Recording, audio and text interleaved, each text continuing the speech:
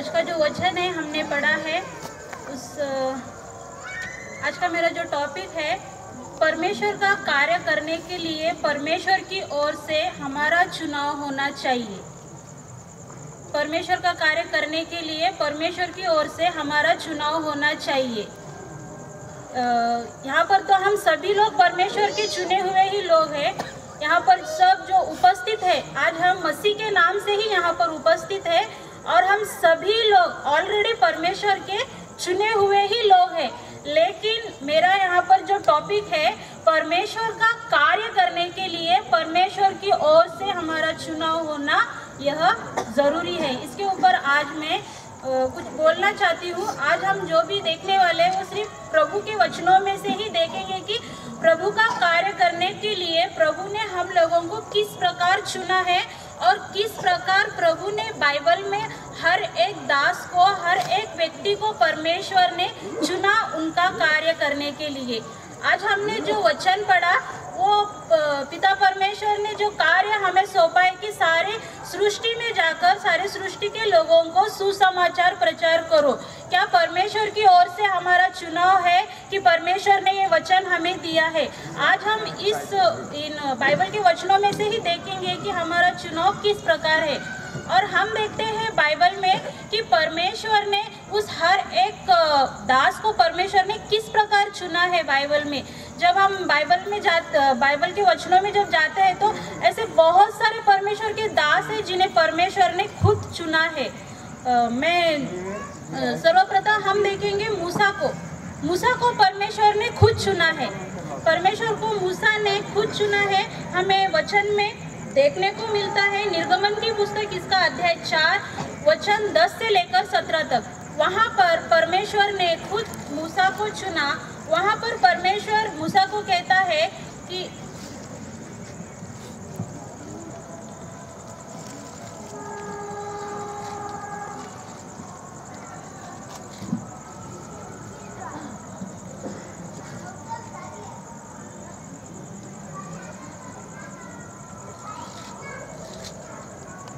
यहाँ पर मूसा का चुनाव किस प्रकार हो गया हम देखेंगे वचन में। मूसा ने यहोवा से कहा, हे मेरे प्रभु जब मूसा मूसा को परमेश्वर ने चुना तो मूसा क्या कहता है परमेश्वर को? मूसा ने यहोवा से कहा, हे मेरे प्रभु, मैं बोलने में निपुण नहीं। न तो पहले था और न जब से तूने अपने दास से बातें करने लगा। मैं मैं तो मुँह और जीव का भद्दा हूँ। जब परमेश्वर ने मूसा को चुना उनका कार्य करने के लिए, जो कार्य मूसा को देना चाहता था परमेश्वर, जो इसराइली लोगों के लिए परमेश्वर मूसा को खड़ा करना चाहता था, लेकिन मूसा कहता है यहाँ पर, हे प्रभु, मैं तो बोलने में निपुण निपुण मैं तो जीव का भद्दा हूँ। मैं तो नहीं बोल सकता। तू किसी और को भेज। तो तब परमेश्वर को वहाँ पर क्रोध आता है। फिर भी परमेश्वर कहता है, नहीं, तुझे ही वो कार्य करना है। फिर परमेश्वर ने इस प्रकार मूसा को चुना। फिर उसके लिए परमेश्वर ने उसके भाई हारून को वहाँ पर उसके साथ खड़ा किया। फिर भी परमेश्वर उसको खड़ा करने के बावजूद भी मूसा के तरफ़ से ही अपना कार्य पूरा करवा के लेते हैं। जब हम आगे वचनों में देखते हैं, परमेश्वर ने मूसा को चुना और मूसा को जो कार्य करना था वो कार्य सौंपा और परमेश्वर ने मूसा को एक ऐसी लाठी दी जिसमें परमेश्वर की सामर्थ्य थी। उस लाठी को परमेश्वर ने मूसा को दिया। जब हम वचन में आगे देखते हैं तो उस लाठी के द्वारा ही मूसा ने परमेश्वर का कार्य जो था, उस कार्य को इतने अच्छी तरह से इतने अच्छी तरह से निभाया। हर एक कार्य में वो सफलता पाते गया उस लाठी के द्वारा ही, जो परमेश्वर ने उसे दिया था। हर कठिनाइयों में से उसे परमेश्वर ने बाहर निकाला है, जिस इस प्रकार परमेश्वर ने उसे चुना है। बाद में हम देखते हैं यूसुफ को। यूसुफ को भी परमेश्वर ने ही चुना। यूसुफ के बारे में जब हम देखते हैं तो वो बारह लोग भाई थे। उसमें से यह एक छोटा भाई था और ये अपने पिता का बहुत प्रिय था। सभी भाई लोग इसे इसके साथ बुरा बर्ताव करते हैं, क्योंकि वो अपने पिता का प्रिय था। इसलिए वो भाई लोगों ने क्या किया? एक दिन उसे मार कर गड्ढे में फेंक दिया। लेकिन परमेश्वर ने उसे कभी नहीं छोड़ा। परमेश्वर ने यूसुफ को चुना अपने कार्य के लिए और उसे कार्य करने के लिए चुना। परमेश्वर ने उसे ऐसी बुद्धि दी, ऐसी बुद्धि दी कार्य करने के लिए कि उस बुद्धि के द्वारा वो हर एक स्वप्न का अर्थ वो बताता था प्रियो। यूसुफ को इस प्रकार परमेश्वर ने चुना और अपने सामर्थ्य से भरा कि परमेश्वर ने ऐसी बुद्धि, ऐसी ज्ञान उसको दी कि वो हर एक स्वप्न का अर्थ बताता था। प्रियो, इसी कारण जब वो मिस्र में जाता है तो वहाँ पर फिरौन का जो, फिरौन को जो स्वप्न गिरता है, उस स्वप्न का अर्थ भी यूसुफ वहाँ पर बताता है प्रियो। तब जाकर वहाँ पर फिरौन आनंदित होता है और उसे वहाँ पर मिस्र देश का प्रधानमंत्री पर प्रधानमंत्री उसको बनाया जाता है प्रियो इस प्रकार परमेश्वर ने उसे चुना, इस कारण और परमेश्वर ने उसे सामर्थ्य दी कि सपनों को समझने की जो बुद्धि परमेश्वर ने दी, इसी कारण वो वहाँ पर मिस्र देश का प्रधानमंत्री बनता है प्रियो जब हम आगे जाते हैं, फिर हम देखते हैं यहुशु के बारे में। यहुशु को भी परमेश्वर ने खुद चुना। अपना कार्य करने के लिए। चुना और उसे यहुशु को कहा, परमेश्वर ने, जैसे मैं मूसा के संग रहा, वैसे ही मैं तेरे संग भी रहूँगा। जहाँ जहाँ तू जाएगा वहाँ वहाँ मैं तेरे संग रहूँगा। इस प्रकार परमेश्वर ने यहुशु को भी कहा। और यहुशु को परमेश्वर ने इस प्रकार अपने सामर्थ्य भरा कि उसे कहा कि व्यवस्था की, यह पुस्तक तेरे चित्त से कभी उतरने न पाए। इसी में दिन रात ध्यान दिए रहना और ऐसा ही करने से तो हर एक काम में सफलता पाएगा।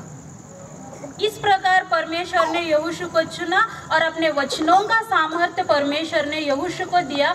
और इसी कारण जब हम आगे वचनों में देखते हैं यहुशु के बारे में तो वो भी हर एक काम में सफलता पाते जाता है, प्रियो। फिर उसी प्रकार हम देखते हैं दाऊद के बारे में, जिसने गोलियात को मार गिराया था। वो एक छोटा वो एक छोटा ही एक साधारण, एक छोटा साधारण व्यक्ति था। भेड़ बकरी को चराने वाला व्यक्ति था दाऊद। लेकिन परमेश्वर ने उसे चुना।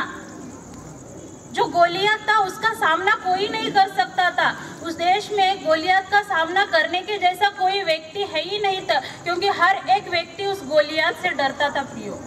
लेकिन परमेश्वर ने वहाँ पर दाऊद का, दाऊद को चुना और उस कार्य के लिए दाऊद को खड़ा किया। और परमेश्वर ने उसको ऐसे सामर्थ्य से भरा कि दाऊद के पास गोपन थी। उस गोपन के द्वारा दाऊद ने उस गोलिया को मार नीचे गिरा है, प्रियो। अगर हम मूवी में देखते हैं दाऊद और गोलियात की मूवी में तो गोलियात को देखे तो हम खुद भी डर जाते हैं, वैसा वो इंसान था। लेकिन दाऊद वो एक भेड़ बकरी चराने वाला एक साधारण व्यक्ति था। लेकिन उस व्यक्ति को परमेश्वर ने चुना और उसे इस प्रकार का सामर्थ्य उसे दिया। उस सामर्थ्य के द्वारा आज वो गोलियात को मार नीचे गिराता है प्रिय इस प्रकार परमेश्वर ने अपना कार्य करने के लिए उसे चुनता है प्रिय। और जब हम देखते हैं योना के बारे में, योना को भी परमेश्वर ने ही चुना। कार्य करने के लिए। योना को जब परमेश्वर कहता है कि तुझे उस बड़े शहर, निन्वे शहर में जाना है तब वो क्या करता है? डर के मारे वो निन्वे शहर जाना छोड़ के तरशिश चले जाता है। वो डर जाता है, मैं कैसे जाऊँ उतने बड़े शहर में और वहाँ के लोगों का मैं कैसे सामना कर सकूँ?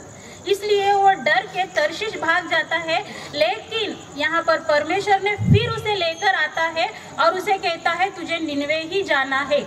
वहाँ पर जाकर तुझे प्रचार करना है।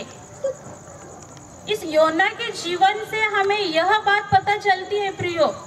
परमेश्वर जब चुनता है उसका कार्य करने के लिए, जिस किसी को, चाहे वो साधारण व्यक्ति हो, चाहे वो कैसा भी व्यक्ति हो, परमेश्वर जिस किसी को चुनता है उसका कार्य करने के लिए तो उसकी ओर से अपना कार्य पूरा करवा कर ही लेता है।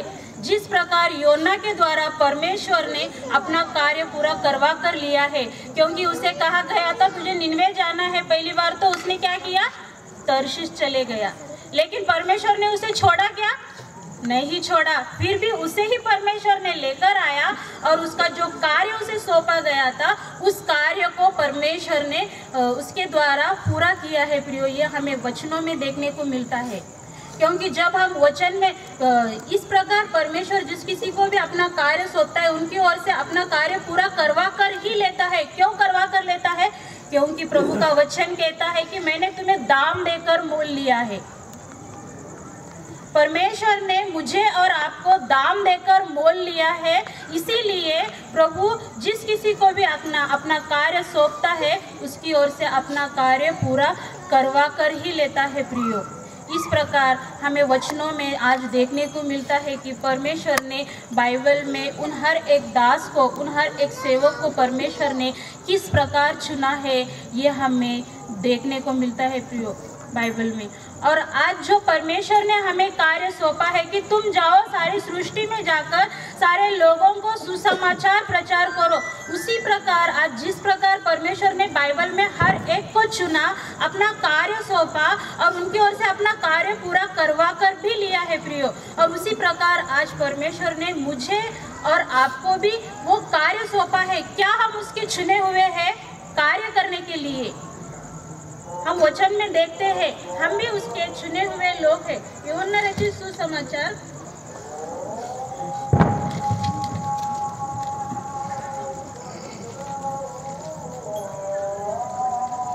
हमें देखने को मिलेगा वचन। योना रचित सुसमाचार, इसका अध्याय पंद्रह, वचन सोलह।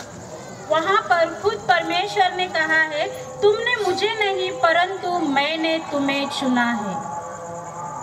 यहाँ पर खुद परमेश्वर हमें कहता है कि तुमने मुझे नहीं, परंतु मैंने तुम्हें चुना है।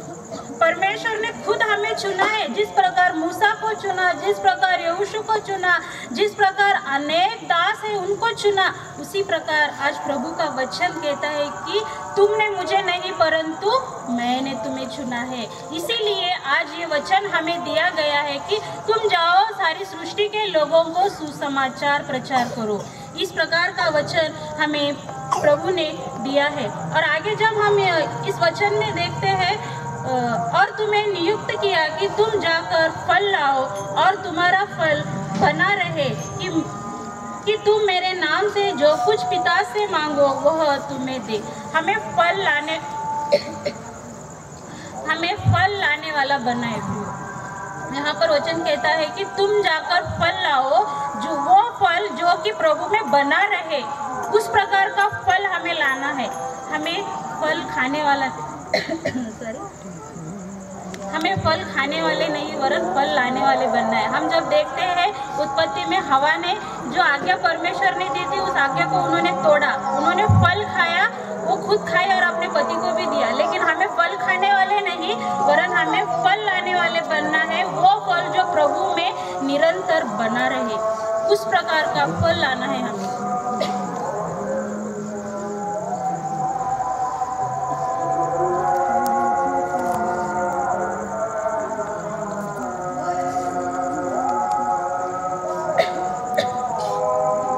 हमें फल लाने वाले बनना है इसीलिए परमेश्वर ने हमें चुना है और वचन में कहा गया है, पहला पत्र इसका अध्याय दो, वचन नौ। तुम एक चुना हुआ वंश और राज पदाधारी याजकों का समाज और पवित्र लोग और परमेश्वर की निज प्रजा हो। इसलिए कि जिसने तुम्हें अंधकार में से अपनी अद्भुत ज्योति में बुलाया है, उसके गुण प्रकट करो। यहाँ पर हम वचन में देखते हैं, यहाँ पर भी हमारा चुनाव इस प्रकार हुआ। यहाँ पर भी परमेश्वर ने परमेश्वर ने कहा है कि तुम एक चुना हुआ वंश हो। परमेश्वर खुद हमें चुना है और यहाँ पर कहा गया है कि तुम एक चुना हुआ वंश हो और पवित्र लोग और परमेश्वर की निज प्रजा हो।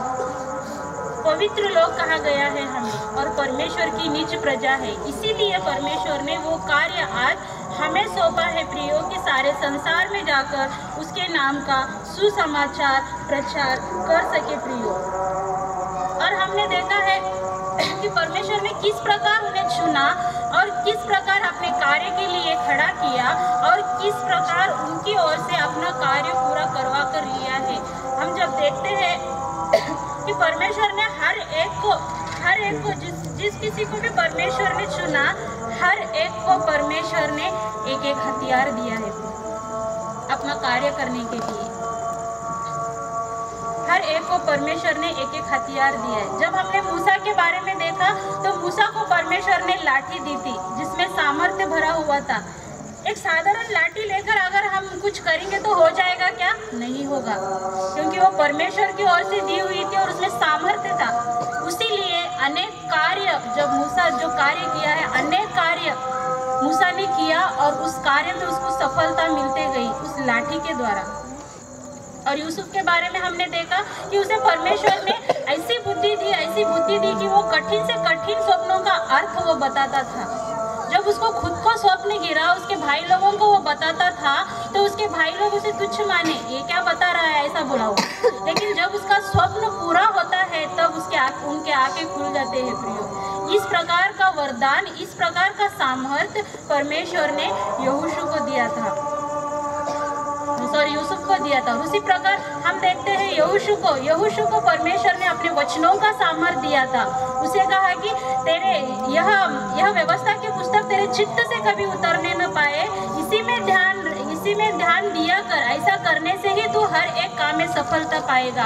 और उसने ऐसा ही किया। इसीलिए वो आगे जाकर हर एक काम में सफलता पाते गया।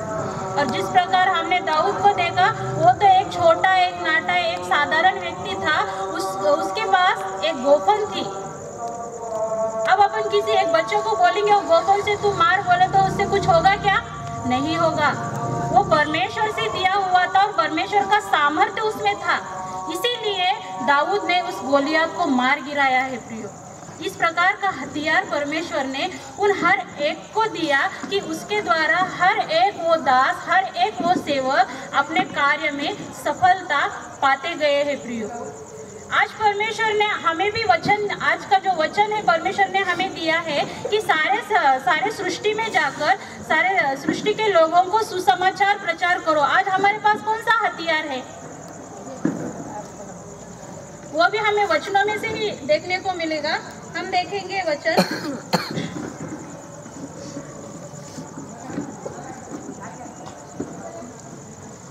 इफिसियों की पत्री, इसका अध्याय 16 वचन 13 वहाँ पर ऐसा कहा गया है, इसीलिए परमेश्वर के सारे हथियार, बाँध लो कि तुम बुरे दिन में सामना कर सको और सब कुछ पूरा करके स्थिर रह सको।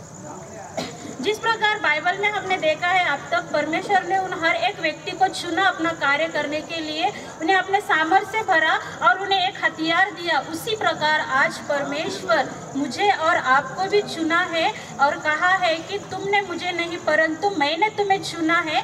इस प्रकार परमेश्वर ने हमें चुना और ये कार्य हमें दिया है कि सारे सृष्टि में जाकर सारे सृष्टि में जाकर सारे लोगों को सुसमाचार प्रचार करो और बहुत सारा फल लाओ जो कि फल वो बना रहे।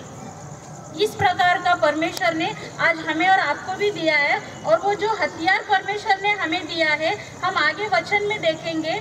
उसी अध्याय की पत्री, इसका अध्याय छ और चौदह से लेकर सत्रह तक हम देखेंगे।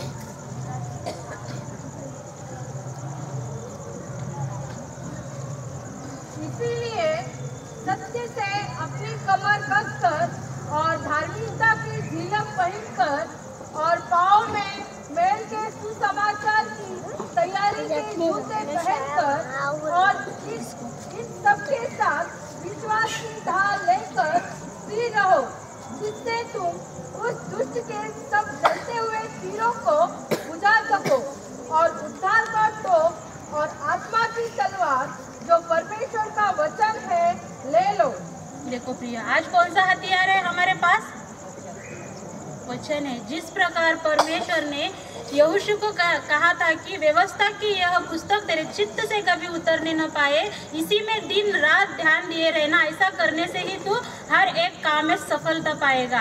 आज जो कार्य परमेश्वर ने हमें सौंपा है कि सारी सृष्टि में जाकर सारे लोगों को सुसमाचार प्रचार करो और वो कार्य करने के लिए परमेश्वर ने हमें चुना, परमेश्वर ने अपने सामर्थ्य से हमें भरा और परमेश्वर ने हमें भी हथियार दिया, जो हथियार हमने आज देखा है कि उन हर एक दासों को परमेश्वर ने दिया था। वही हथियार परमेश्वर आज मुझे और आपको भी देता है।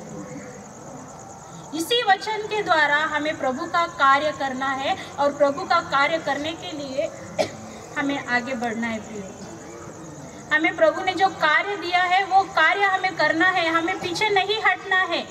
जिस प्रकार योना को कहा गया था पहली बार तो वो पीछे हट गया। लेकिन परमेश्वर ने उसे छोड़ा क्या? नहीं छोड़ा। फिर भी परमेश्वर उसे लेके आता है और उसकी ओर से परमेश्वर ने अपना कार्य पूरा करवा कर ही लिया है।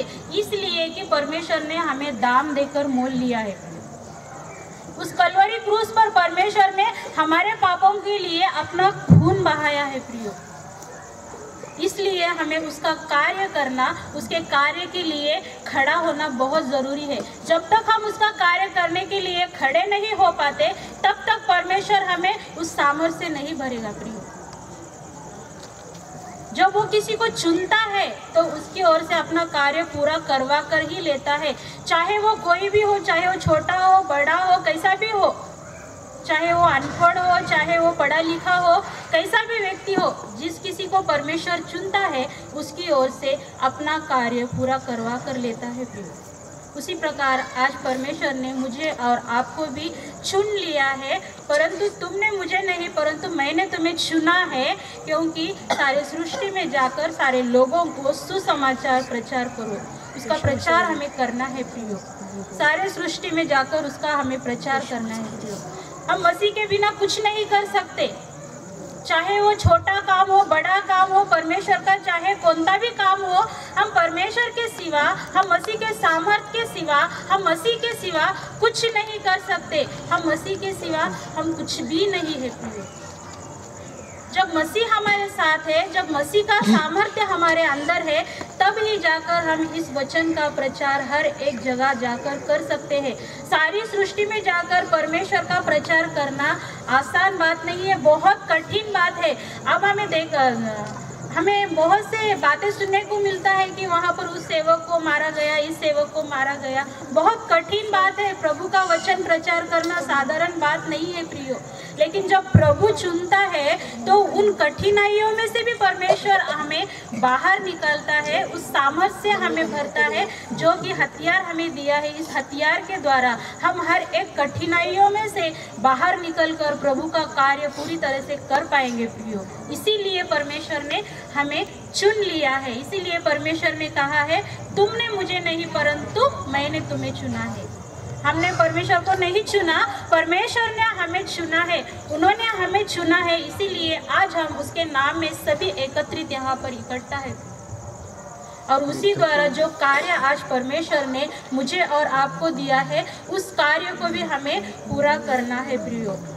उस सामर्थ्य से जो परमेश्वर ने जो परमेश्वर हमें देना चाहता है और ये हथियार जो परमेश्वर हमें दिया है, इसके द्वारा हमें परमेश्वर के कार्य में आगे बढ़ना है और जो कार्य परमेश्वर ने हमें दिया है, उस कार्य को हमें आगे बढ़ना है।